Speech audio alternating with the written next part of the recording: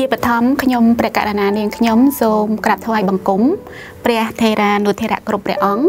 សូមគោរពនិងជម្រាបសួរសម្ដេចទ្រង់អាដាមលោកជំទាវលោកអុកញ៉ាអ្នកអុកញ៉ាលោកលោកស្រីនិងបងប្អូនជនរួមជាតិកម្ពុជាទាំងអស់ជាទីគោរពនិងជាទីរាប់អាននាងខ្ញុំចេនសុភាពតាំងនាមជាទូតសុចន្ទៈភាពជាអ្នកដឹកនាំនិងជានាយិការបស់សហគ្រាសកៃតម្បាញខ្មែរ KTK សូមគោរពជូនពរទៅដល់បងប្អូនជនរួមជាតិកម្ពុជាទាំងអស់នាឱកាសឆ្នាំថ្មីឆ្នាំ2022សូមបងប្អូនទទួលបាននៅសេចក្តីសុខចម្រុងចម្រើន សុខភាពល្អជាឆ្ងាយពី COVID-19 ទាំងអស់គ្នានិងទទួលជោគជ័យគ្រប់ភារកិច្ចការងារហើយបន្ថែមពីនេះទៅទៀតក្នុងនាមនាងខ្ញុំជាសហគ្រិនស្ត្រីម្នាក់នាងខ្ញុំមានពាក្យសំខាន់3សម្រាប់ចែកជូនដើម្បី ធ្វើជាការត្រេះរេះពិចារណា យកទៅសិក្សាស្វែងយល់បន្ថែម គឺពាក្យថាកោ3កោ3នៅទីនេះ គឺនាងខ្ញុំចង់សំដៅទៅលើ ទី1គឺគុណភាព ទី2គឺគុណតម្លៃទី3គឺគុណធម៌ក្នុងនាមខ្ញុំជាម្ដាយជាកូនស្រីចាជាភរិយា ជាបងស្រី ជាប្អូនស្រី ជាមីង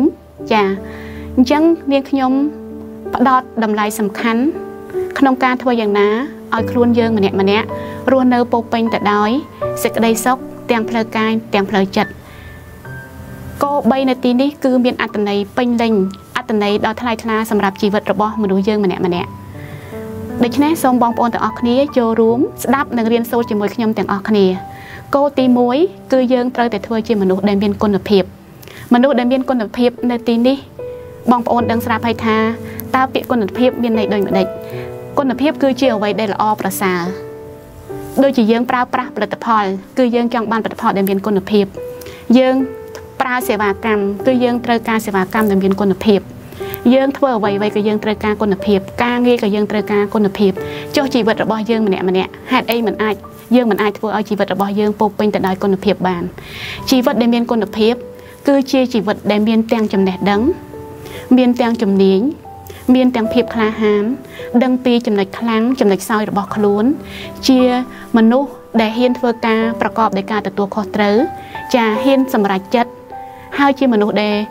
មានគុណភាពជីវិតពោពេញទៅដោយការគោរពអោនលំទោនហើយនឹងចេះជួយទុកតរៈទៅដល់មនុស្សដែលនៅជុំវិញខ្លួនក្រុមគ្រួសារហើយនឹងសង្គមជាតិផងដែរជីវិតដែលមានគុណភាពគឺជាជីវិតដែលពោពេញទៅដោយសក្តានុពល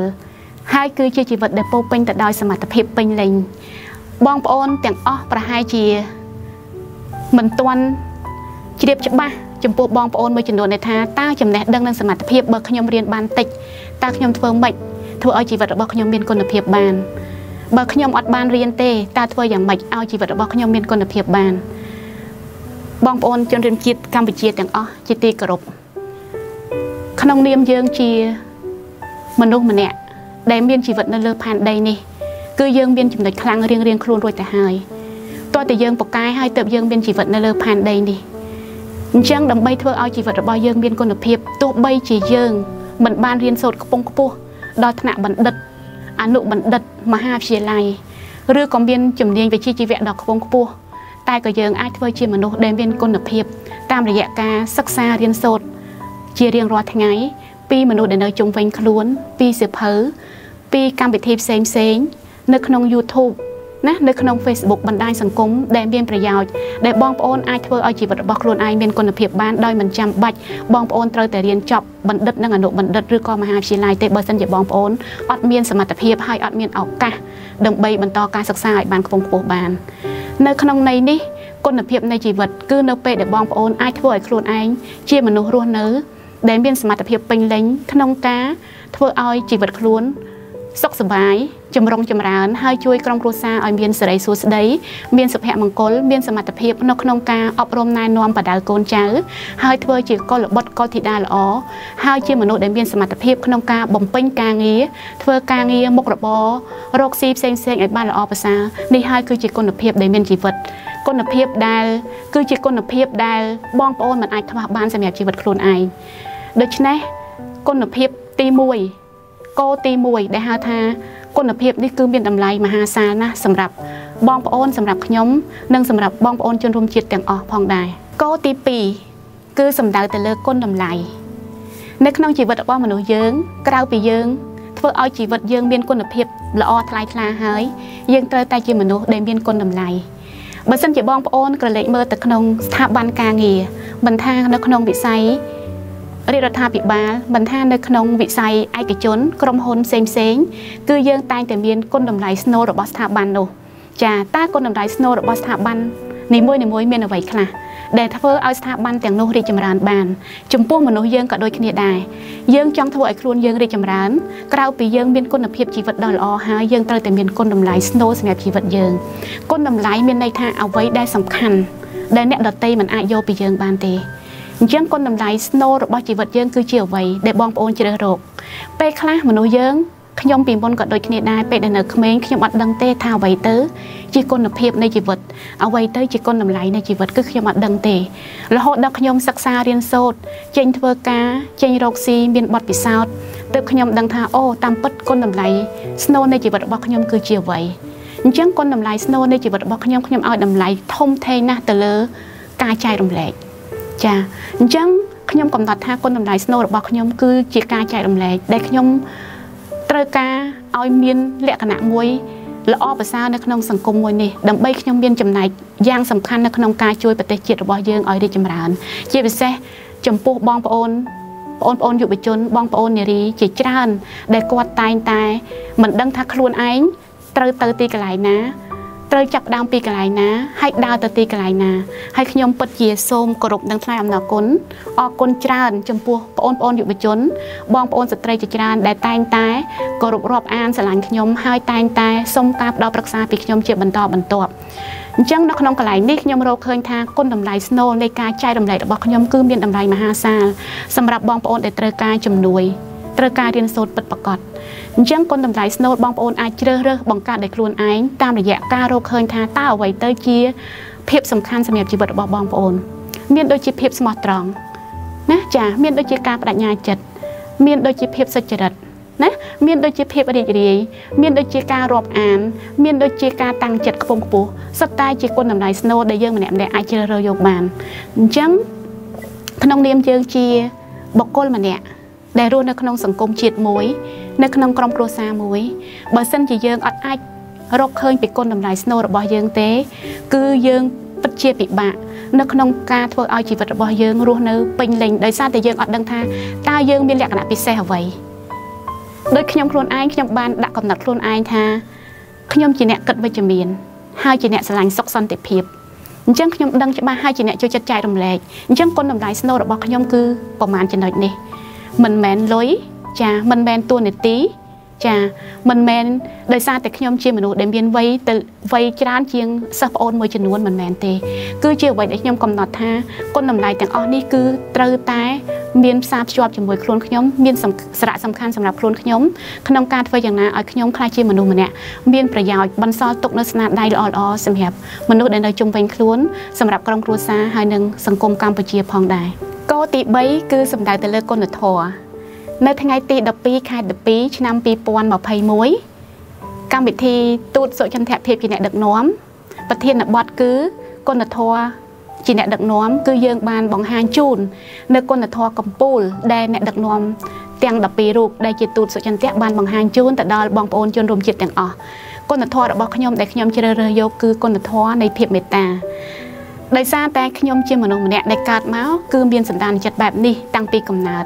រួមសំនឹងការប្រដាប្រដៅពីឪពុកម្ដាយជាពិសេសអ្នកម្ដាយរបស់ខ្ញុំ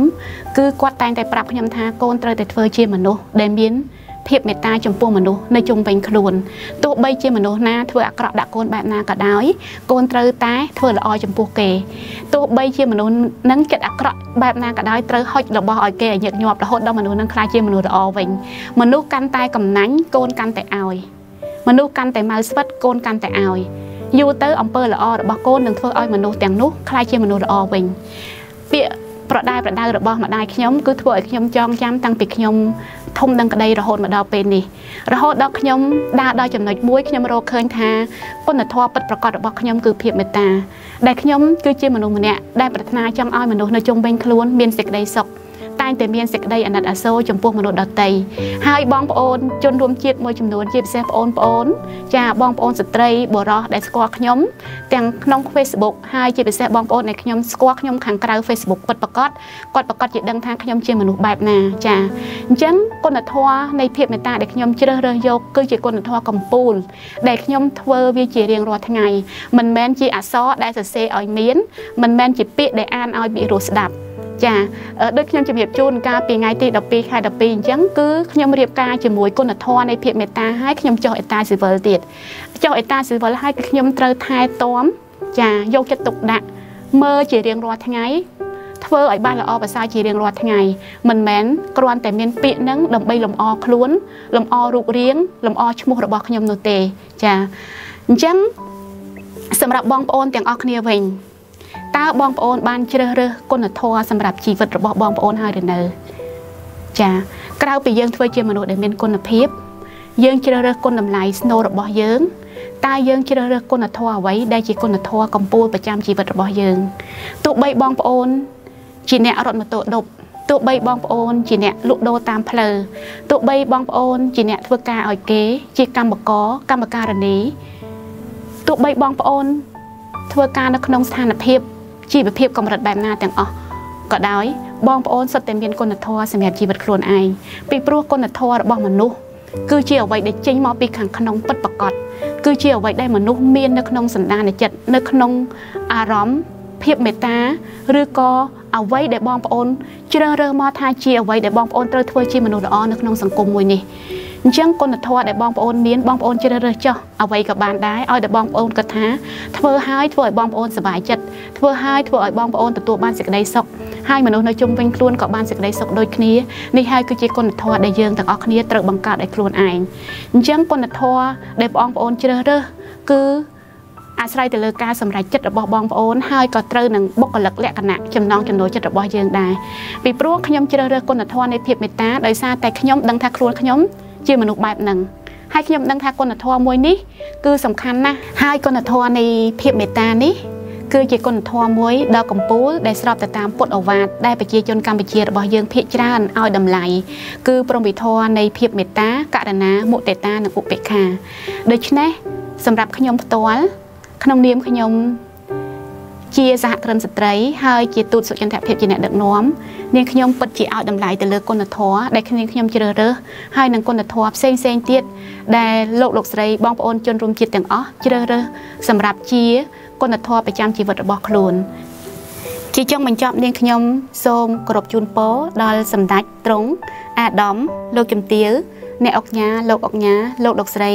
និងបងប្អូនជនរួមជាតិកម្ពុជាទាំងអស់សូមជួបប្រទះតែសេចក្តីសុខនិងពុទ្ធពរទាំង4ប្រការគឺអាយុវណ្ណៈសុខៈពលៈកំបីគ្លៀងគ្លាតឡើយសូមអរព្រះគុណនិងសូមអរគុណ